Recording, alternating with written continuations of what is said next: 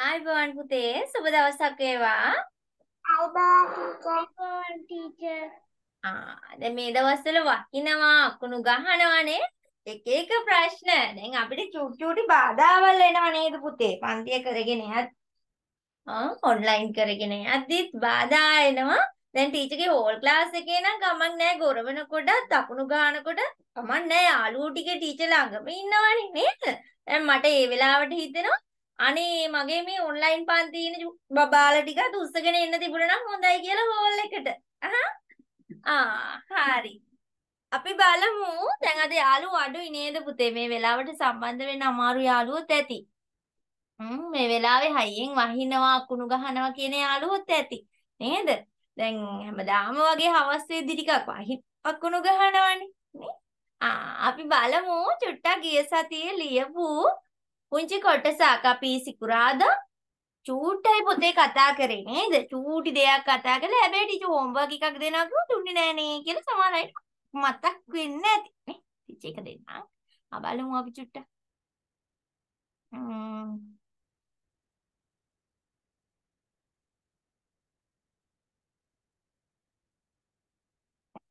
ඔව් බලමු.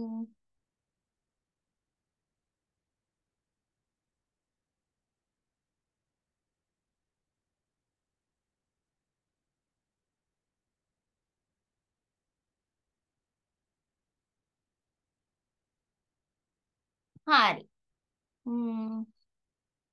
අපි සිකුරාදා මෙන්න මේ චූටි කොටස විතරයි පුතාගේ පොතේ ලියාගත්තේ.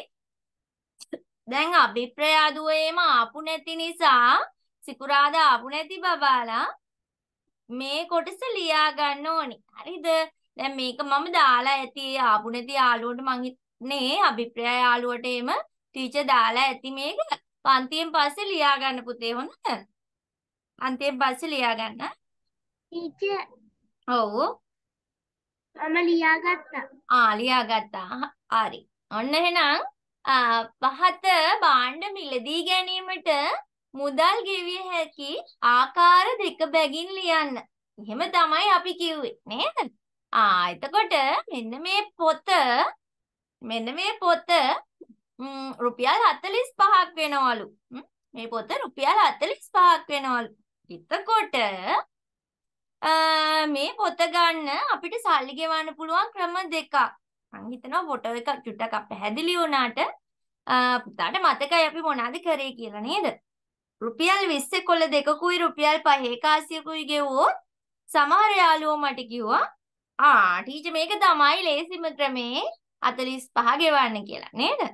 ඊට පස්සේ ආ ටීචර්ට ටිකාවක් ඇවිල්ලා බලමුකෝ අපි වතුර ටිකක් කීයද කියලා මෙතන වතුර එකක් විනාඩියක් දෙන්න පුතේ.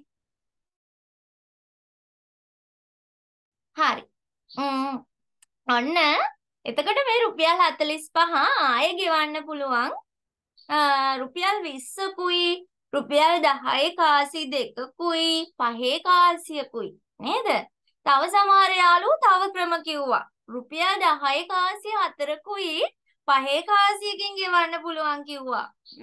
තව එක එක ක්‍රම පුළුවන් නේද? හරි. එහෙනම් ඔන්න අර ටීචර් හෝම්වර්ක් එකක් දෙනවා කිව්වනේ. ඒක අපිට කරන්න බැරි වුණානේ. ඒ නිසා අපි දැන් පන්තියේදීම ඒ ටික කරමු. කො බලන්න. මේම මොකක් හරි දෙයක මිලක් දුන්නොතින් පුතාලට ඒක ක්‍රම දෙකකින් ගෙවන්න පුළුවන් විදිය මේ විදියට නෝට්ටු කාසි පාවිච්චි කරලා පුළුවන් අය ලියන්න. නෝට්ටු සහ කාසි. පුළුවන්. ආ අපි බලමු එනම් පුළුවන්ද කියලා අපේ යාළුවන්ට. හරි. පුතේ ඒ කතා කරේ උදාහරණය එනම් ඔන්න අංක 1. අංක 1. ආ අපි ඇඳගමු පුංචි වතුර බෝතලයක්. ඔන්න පුංචි වතුර බෝතලයක් අපි ඇඳ ගන්නවා. ඔන්න වතුර බෝතලයක්.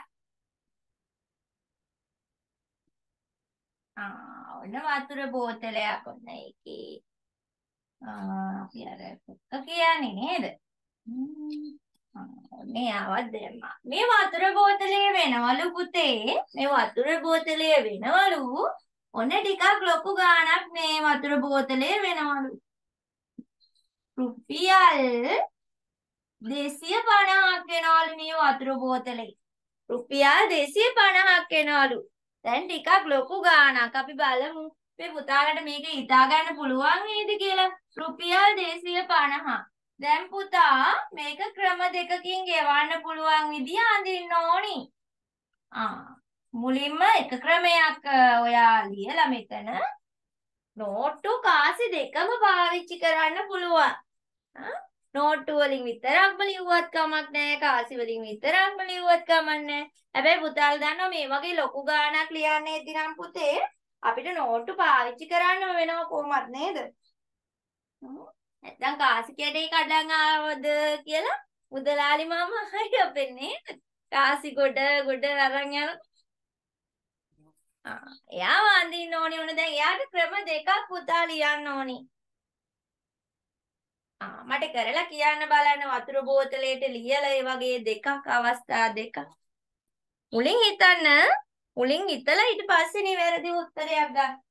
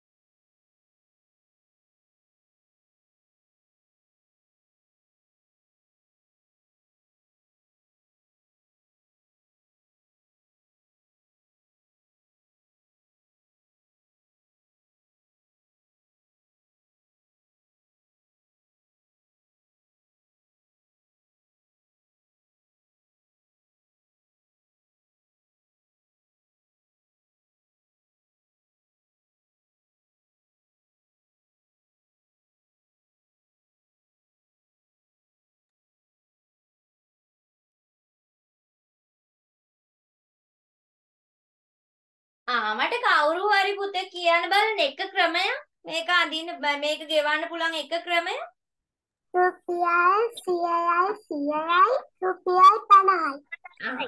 ආ රයිට් එහෙම පුළුවන්. හරි. තව ක්‍රමයක් ඔන්න මම ආයෙ අහනවා පුතාලා ඇඳලා තියාගන්න. ආ ඔන්න ලේසිම ක්‍රමේ තමයි රුපියල් 100 එතකොට කොටුවක් වගේ අපි අඳින්නේ නේද පුතේ? රුපියල් 100 ආ ඔයාට කැමති නම් රුපියල් 100 කියන එක මෙහෙම තනි පේලියටම ලියන්නත් පුළුවන්. ටීචර් ඊට මදි නිසා ටීචර් ගත්තා. ඕම පේලි දෙකකට. ආ රුපියල් 100 නෝට්ටුවක් නේද? ආ ඒකට තව රුපියල් 100 නෝට්ටුවක්.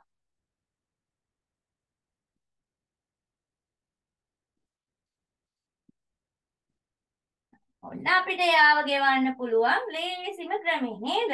රුපියල් 100 ඒවා දෙකකුයි රුපියල් 50 නෝට්ටුවකුයි. නා ක්‍රම දෙකම ඇඳලා ඉවරයි ඉන්නවනම් මට කියන්න ඕනි.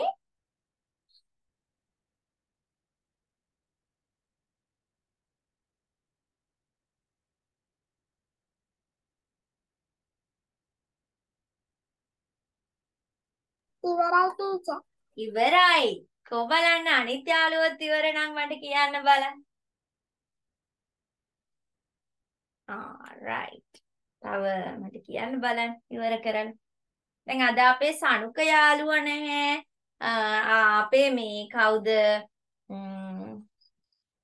අපේ එක යාළුවෙකුට පන්ති තියනවා කියලා කිව්වා. හවස 6 වෙද්දි නම් බැරි වෙයි කියලා මට මතකයි ගිය සතියේ. අද අපේ දහම්ස යාළුවා ඇවිල්ලා නෑ නේද? ආ යාළුවෝ ටික දෙනෙක් ටික දෙනෙක් අඩුයි.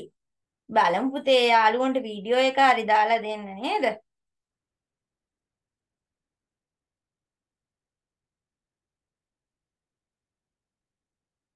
ආ විනුල යාළුවට පන්ති කියලා කිව්වා නේද? හරි. කො බලන්න අනිත් ක්‍රමේ මට අභිප්‍රාය යාළුවත් කියන්න බලන්න පුතේ මේක ගෙවන්න තව ක්‍රමයක්.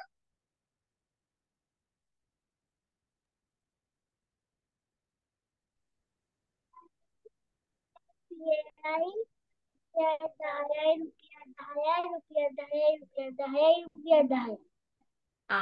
ලොකු එකක් 10 වයින් කියලා තියෙනවා නේද? ආ කො බලන්න. මට අනිත් යාළුවෝ කියන්න බලන්න තව ක්‍රමයක්. තව ක්‍රමයක්. රුපියල් පනහේ නෝට්ටු පහ. ආ 50 නෝට්ටු පහක්. ඒවත් පුළුවන් නේද? 50 නෝට්ටු පහක් පුළුවන්. තව යාළුවෝ මට කියයි ටීචර් 100 නෝට්ටුවකුයි 50 නෝට්ටු තුනකුයි දුන්නා නම් හරි නේද කියලා. නේද? ආ ඒවත් පුළුවන්. එහෙනම් ක්‍රම ගොඩායි. නේ? ආ තව කෙනෙක් මට කියයි ටීචර් 100 නෝට්ටු දෙකකුයි 20 නෝට්ටු දෙකකුයි 10 කාසියකුයි අපිට දෙන්න පුළුවන් නේ කියලා. එහෙනම් ඔන්න ක්‍රම ගොඩායි නේ? ඔයාගේ ළඟ සල්ලි තියෙන විදියට ඔයාට පුළුවන් ඒ අදාළ මුදල ගෙවන්න. හරි. අපි යමු එහෙනම් කතා කරන්න ඊළඟ වැඩේ. ආ එහෙනම් ඔන්න ටීචර් මේක මකලා දෙවෙනි එක දෙන්න යනවා. අංක දෙක. පුතේ මේ වගේ වෙයිදී පුළුවන් නම් ටිකක් අර කෙටි ක්‍රමයේ තෝරගන්න. නැත්නම් ඔයාට විභාගෙට ගිහින් අර ගොඩාක් ලියන්න ගියාම නේද? අමාරු. දැන් සමහර යාළුවෙක් මේම හිතුවොත් ආ ටීචර් 250 ඉන්නේ. රුපියල් 1250ක් යන්දනම් හරිනේ කියලා.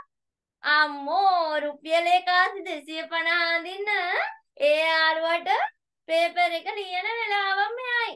නේද? ලස්සනට යා රුපියල් 1250ක් අද. සමහර විට පේපර් එක ඉවර වෙනකොට එයාට ප්‍රශ්නයකට දෙකකටවත් උත්තර ලියා ගන්න බැරි වෙයි. නේද? ඒ නිසා ඔයා චුට්ටක් මොලේ කල්පනා කරන්න ඕනි චුට්ටක් ලේසි ක්‍රමයට ගල ඇඳලා දාන්න පුළුවන් එක. ආ හරි. එහෙනම් ඔන්න අපි යමු දෙවෙනි අණු අංකයට. අංක 2.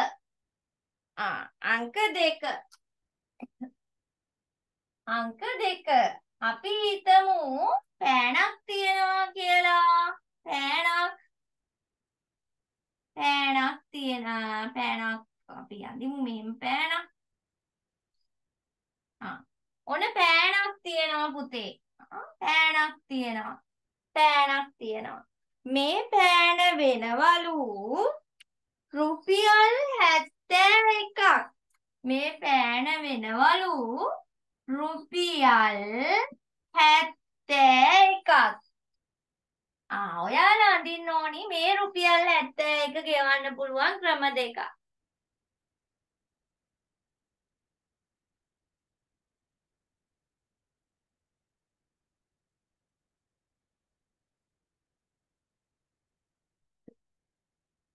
රුපියල් 71 ගෙවන්න ක්‍රම දෙකක්.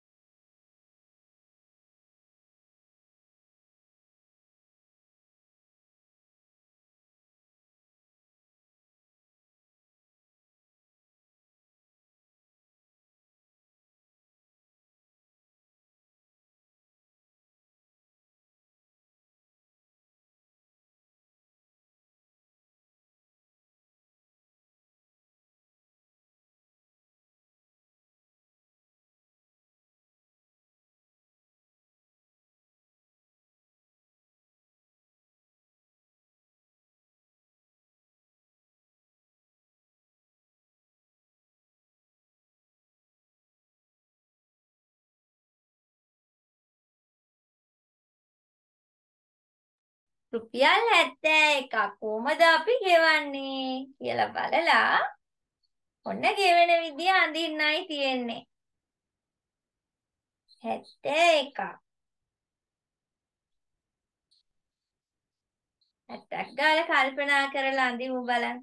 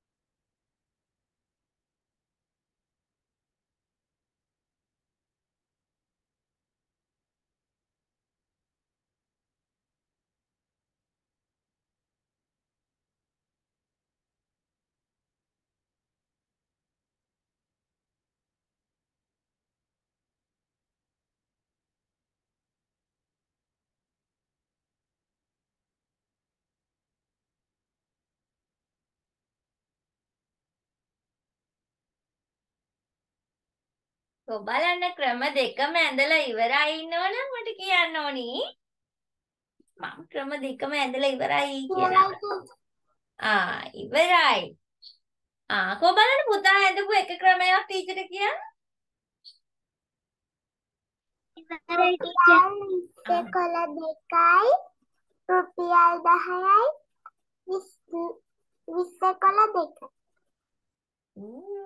යාළුවා ඇඳලු ආ. 20 කොළ ඒ කියන්නේ පුතේ 20 කොළ හතරක් ගත්තද ඔක්කොම? ඔක්කොම 20 කොළ කීයද සස්මි? හතරයි. ඔක්කොම 20 කොළ හතරයි. පුතේ 20 කොළ හතරක් ගත්ත ගමන් රුපියල් 80ක් එනවා නේද එතන වැඩි වෙලා නේද ගාන? බලන්න චුට්ටක්. 71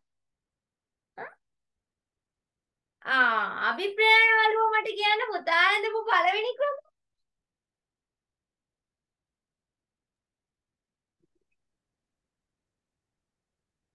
රුපියල් දෙකේ කාසි දෙකකුයි රුපියල් දෙකයි රුපියල් එකේව දෙකකුයි. ආ 71ක් ටීචර් දුන්නේ. පුතාලා මට නිකමට හිතලා කියන්න රුපියල් 70ක් ගෙවන්න. ඔව් පුතේ. විස්සේ කොළ දෙකයි දහයයි පණහයින්නේ. මේ විස්සේ කොළ තව දෙකක් හැත්තෑවයි තව දෙකක්. මේ තව එකක් නේ. තව එකක් නේ සස්මි. ආ 20 කොළ තුනක් ආවම 60යි නේ? 20 කොළ තුනක් ආවම 60යි. තව එකක් 10යි. එතකොට තව එකක් එකතු වුණාම 70යි නේ? ඊට පස්සේ තව රුපියලකුත් එකතු වුණාම 71යි. නේද? ආ? ආ පුතේ ඔව්. රුපියල් දෙකේ රුපියල් දෙකේව තුනයි රුපියල් එකේව දෙකකුයි හරිද? පුතේ දෙකේවා කීයද පුතා කියන්නේ දෙකේවා තුනක්ද? දෙවරක් තුන හයයි. ආ ඊට පස්සේ තව දෙකක්.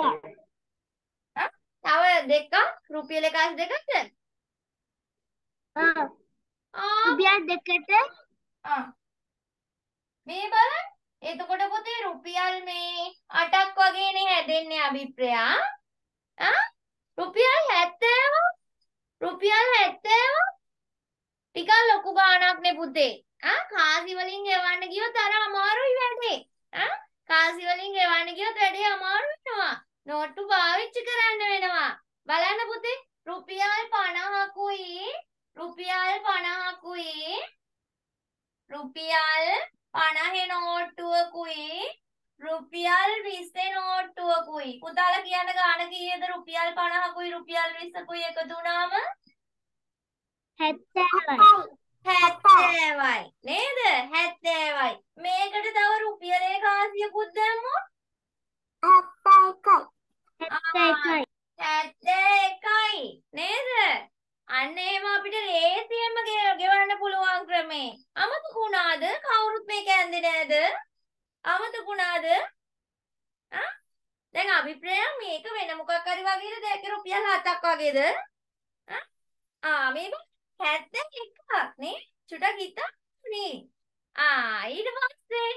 ආ ඊට පස්සේ? දැන් මේ ටීචර් අහන්න බැරි වුණානේ අපේ අභිප්‍රාය යාළුවා අසනීප වෙලා හිටියා නේද? ආ කො බලන්න දැන් සනීපද දැන් හොඳයිද? ඔව් ටීචර්.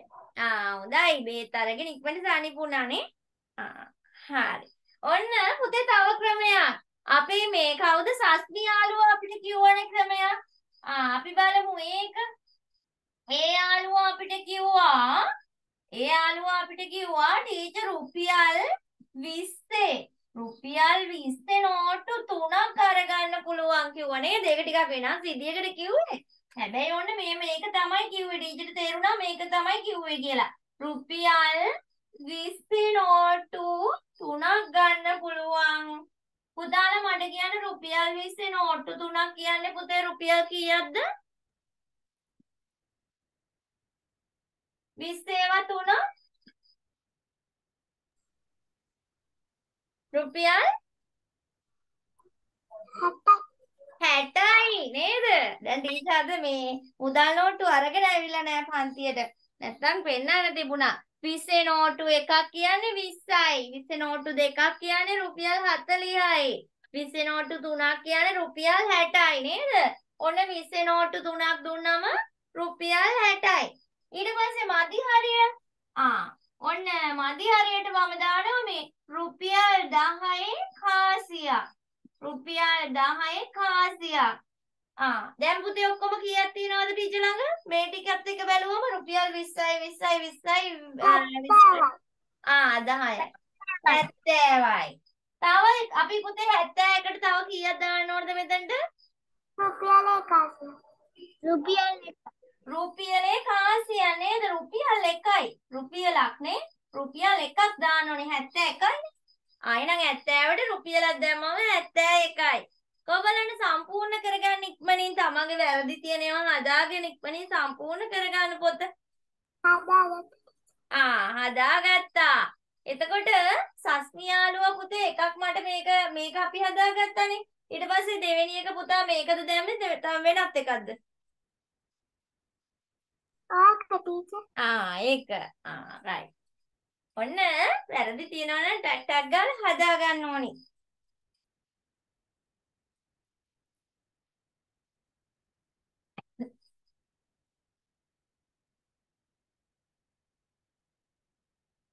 පුතේ අභිප්‍රයා ලියපු දෙකම වැරදිලා වගේද? නැත්නම් දෙකෙන් එකක් හරි හරිද? දෙකම වැරදි ටීචර් ආ හරි. පුතේ මේකට දැන් පුතාට උත්තර ගන්න විදිය තේරුණා නේද? ඔව් ටීචර් ආ හරි. දැන් ආපු නැති යාළුවන්ට ටීචර් මේ මේකේ රෙකෝඩින් එකක් හරි දෙන නිසා කමක් නැහැ. ඒකෙන් පුතා උත්තර ටික ලියා ගන්න හොඳ නැත්නම් ගෙදර ඔව් පුතේ.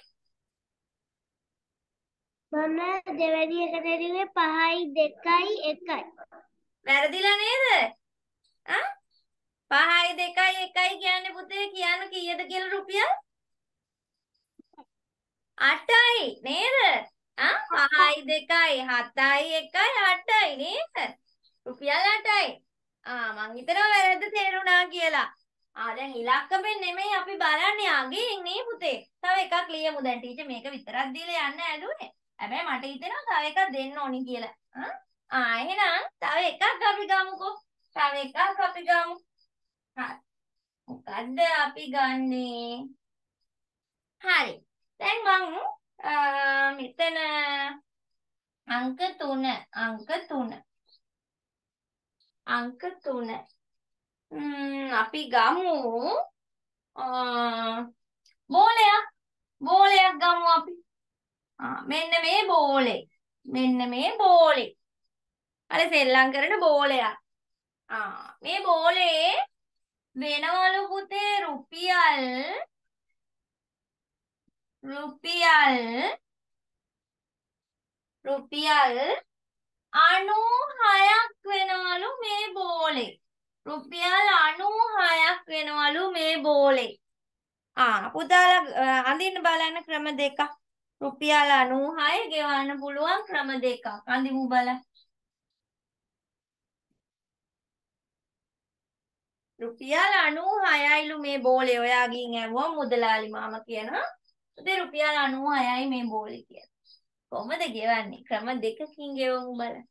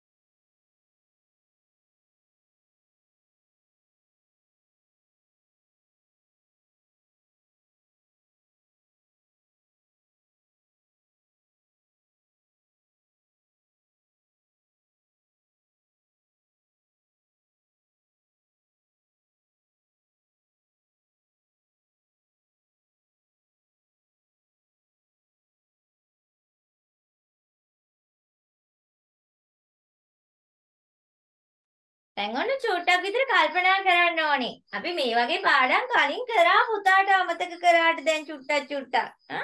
අපි කාසි වලින් ගෙවන විදිය වෙනමම කතා කරා. නෝට්ටු වලින් ගෙවන විදිය වෙනමම කතා කළා. නේද? දැන් මෙයානේ නෝට්ටු සහ කාසි කලවමේ ගෙවන්න පුළුවන් ක්‍රමයක්.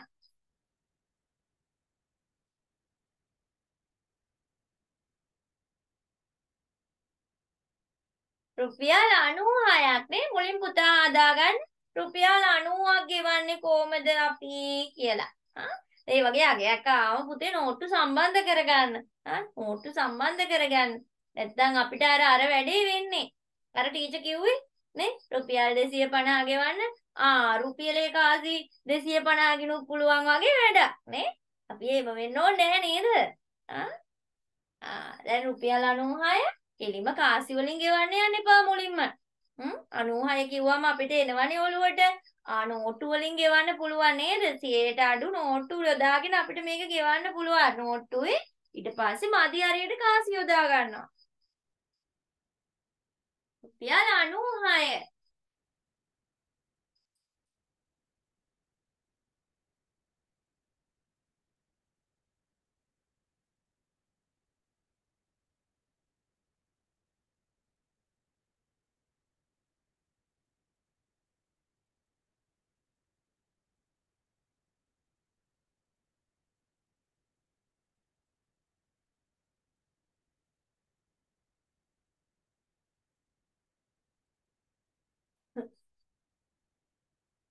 රුපියල් 96.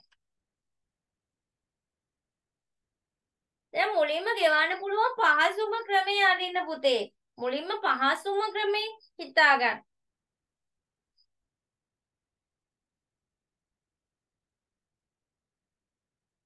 මට කවුරු හරි යාළුවෙක් එක ක්‍රමයක් කියන්න බලන්න රුපියල් 96 අපිට ගෙවා ගන්න පුළුවන් එක ක්‍රමයක්.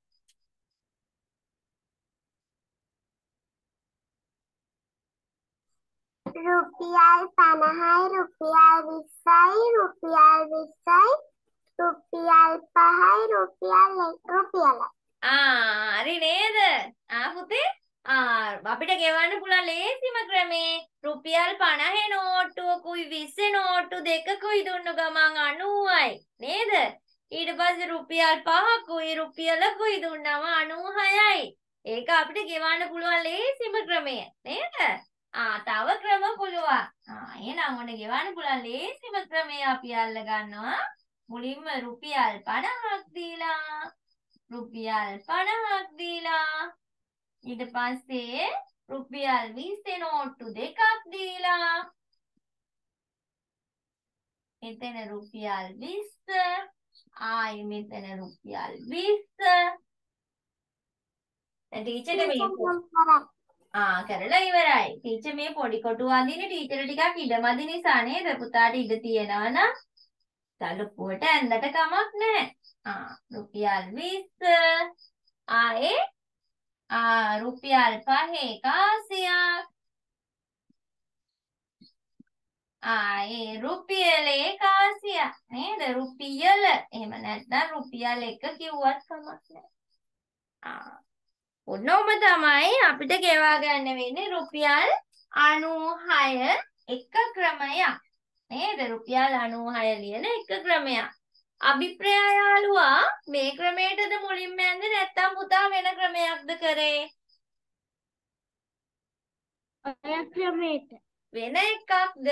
ආ පුතා මට වෙන එකක් කියන්න බලන්න. වෙන එක? නෑ ටීචර් ඕක. ආ මේක. තව ක්‍රමයක් හිතලා කියන්න බලන්න තව ක්‍රමයක් තස්මි යාළුවා හරි කමන්නේ. තව ක්‍රමයක් රුපියල් 20යි 20යි 20යි 20යි රුපියල් 10යි ආ 20යි 20යි 20යි 20යි රුපියල් 5 කාසියයි. ආ.